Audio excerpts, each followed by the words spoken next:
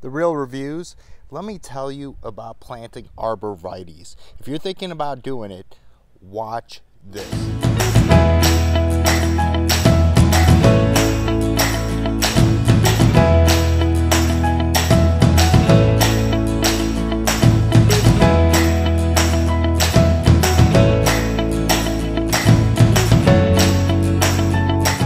So we just got 11 arborvitaes, part of the cedar family, installed, planted in our backyard. As you can see, they put mulch down to keep the moist soil, but there's some issues that you're going to see, like the shock, or it could possibly be underwatering. So we're going to kind of go over that and what we can do to fix that.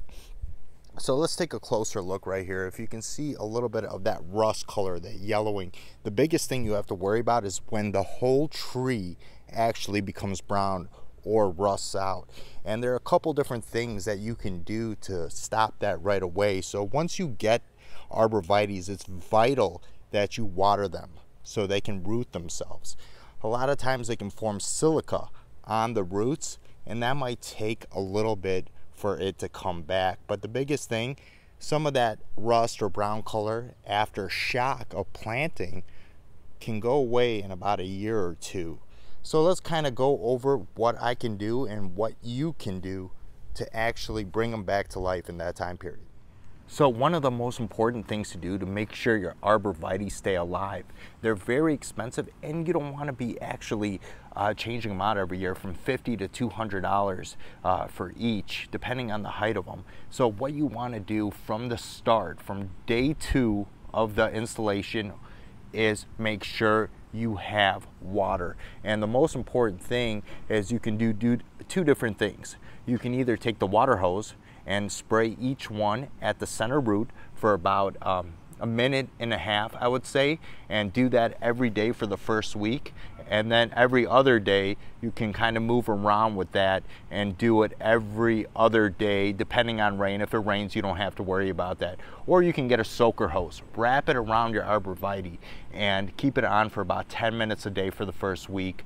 Uh, some people say the first month. So it's all depending on your arborvitae and how well they take to your soil and how well uh, your service or you planted them. If you guys are interested in different lawn products and service, you guys probably saw this one all over the internet. It's amazing. Five minutes online. They map out your house through GPS. They send you everything you need for your lawn. You send them a soil sample back and they formulate a plan for you. Professional services, organic mostly, uh, depending on some of their products that have herbicide, but all their lawn care is dog and kid friendly. So everything from the nitrogen for the green grass, the iron, even their soil that they can send you is all organic. And that's the Sunday Lawn Starter Kit. Please check out my other video. There's $40 link below off of your service and it's actually cheaper than the professional services. So if you see some of this browning or uh, yellowing going on in your arborvitae as you have them right now. This just got planted and uh, it's been around a week now and I wanted to give you an update on it and show you how it's going and what you need to do. The most important thing is arborvitaes need sunlight. As you can see here, they all have sunlight so they are not dying or they're not in shock because of that because you can see they have that there. There is no white splashes. Make sure you really look at your arborvitae and check if there's white splotches uh, on them. That is disease and can cause them to die. And also insect issue. If you guys see any insects uh, crowding around or anything on your arborvitae, make sure that that could be an issue that's caused by it. Another thing is shock. This is what I'm predicting that the issue is here. So the shock has that brown or rusting right there and that's can be all because of the replanting. You planted it too low or high above the soil line where it was uh, growing and that will go away within a year or two as I said before. Another thing uh, is not enough water. So make sure if your root and mulch is dry, make sure you give it water every other day or every day the first week, unless you're using different types of methods of watering that can create a longer process as well. But today we're gonna go over how we can fertilize it.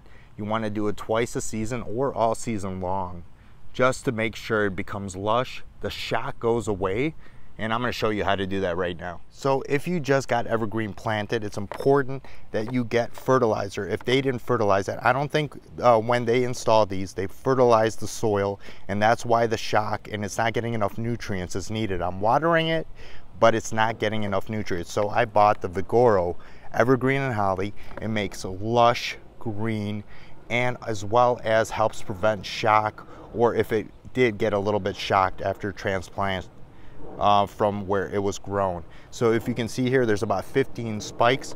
Let me show you how to install it, and then I'm gonna do a video about 30 days after to show you how it worked. So please subscribe, guys. Please give me a thumbs up, and let's go through the process. Let's open it up. So here's the Vigoro Evergreen and Holly fertilizer spikes.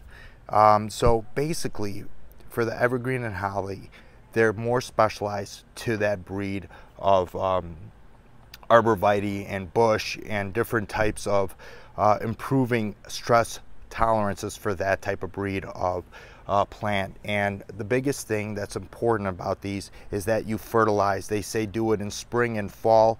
Um, what I'm doing right now, it's right between August, September, and I just got them installed. I need to fertilize them. They're gonna last about three months. You can do them all season long. This reduces the stress. How they come, there's 15 of them, they come just like this. Make sure when you put them in, they're about at a 45 degree angle. They give you this plastic cap right here. All you need is a hammer to kind of put it in. We're gonna kind of go over that process once I get by the evergreens over there.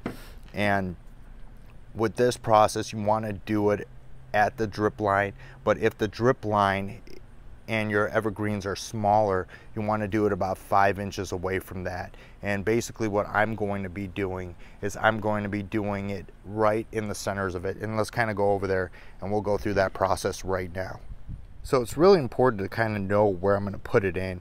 And wherever you put these spikes in, that's where the roots are going to grow towards to get those nutrients. So once you put these in, it's very important to space them out properly. The drip line is about um, I would say about four or five inches. I'm going to do it one right there in the center. I'm going to do one right there in the center.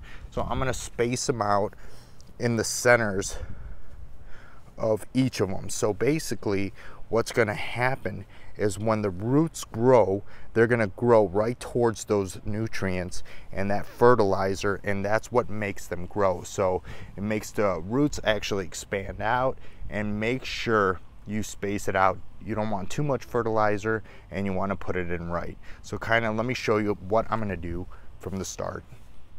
So I took a little bit of that mulch off to get to the soft soil right there and I'm about I would say 15 inches away from each tree, maybe a little bit less. But what I'm gonna do is I'm gonna put it in sideways like this, about 45 degree angle, and I'm gonna hammer down on it until I can remove that cap.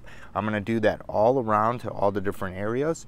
And when I'm done, I'm gonna show you how it looks. Just cover up the mulch and then I'll go over that process. So if you can see where the mulch is, I did it right to the line. I took it down, very easy process to take it down. And then I took the back of the hammer and pulled out the pushing tip. So once that is in, you can see I covered up with mulch. Um, and this process I did at this level currently, I did six of them right in the center of all the arborvitaes. And you can see that you can't even see any of them. So if you have any pets or anything, you cover it up with mulch and there is no worries. At around five, six o'clock, five o'clock, I will water them just so they and the fertilizer starts moving through the soil system and into the roots. And we're gonna do a review after about 30 days just to see if it helped made the foliage a little bit more greener and help with the shock. The shock usually goes away within a year. You can also trim off these different foliage. And if you can see right there, make sure when you trim it off, you trim it off at an angle and just take uh, scissors or garden scissors and just cut it off at an angle. You can see the little V's everywhere down. Very easy to do and you won't spot that anymore. So let's hope all these go away in the centers because you really don't want to be changing these out every year and make sure that they fertilize them when they put them in. So when they put that in, they did not. So that's why I'm throwing the fertilizer right now, which is end of August, September. On another note, so if you do find these at Home Depot or online off season, they're about eight to $15. You could probably find them on sale for 15 bucks off season. You can keep these for a couple seasons, no worries. Put them in your shed and they'll be just fine. So let's look how this works after 30 days. Please subscribe. Please give me a like. Um, if you do like lawn service, please check out Sunday. I have a link on the bottom, $40 off. You probably heard of them. Great site and great fertilizer. All right, thank you guys so much for watching and uh, till next time.